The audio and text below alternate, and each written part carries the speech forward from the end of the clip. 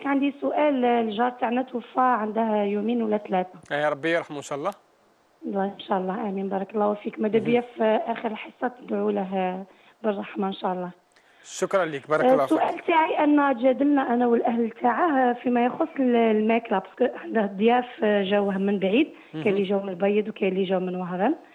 وفي قضية الأكل قلنا باللي يوكلوا من دراهم ال- الميت. وواحده من العائلة تاعها قالت لي لا يجوز بحكم أنه من مات ما يبقى عنده حتى حاجة ملكه. كل شيء يرجع للوراثة. نعم شكرا لك.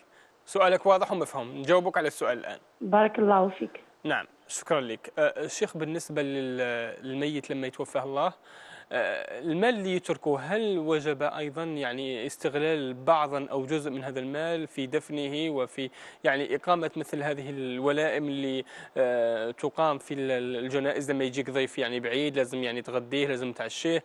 هل يجوز الإنفاق من هذا المال أم هذا المال هو حق للورثة الشرعيين وهم من يتصرفون في هذا المال؟ نعم هذا المال هو حق للورثة. يعني م- بمجرد أن يموت صار مال الميت كله تلك التركة كلها ميراث.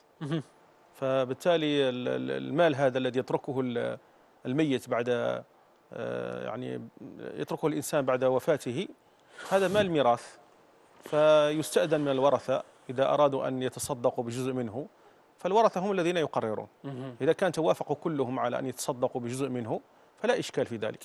ولكن أن يأتي إنسان ويتصرف في هذا المال من غير إذن من الورثة فهذا لا يجوز شرعا. خاصة خاصة إذا كان الورثة صغار. إذا كانوا قصر وصغار فلا يجوز التصرف في أموالهم. نعم. فهذه أموال لهم هم يعني. فإلا إذا أوصى ال- الرجل هذا أوصى. جعل وصية وقال إذا مت فأخرجوا مبلغ مثلا 5 ملايين 10 ملايين اجعلوها صدقة مثلا. فإذا أوصى فتنفذ الوصية. نعم. أما إذا لم يوصي فهذا المال هو مال ورثة. ورث إذا توافقوا فيما بينهم اتفقوا فيما بينهم فلا إشكال. نعم.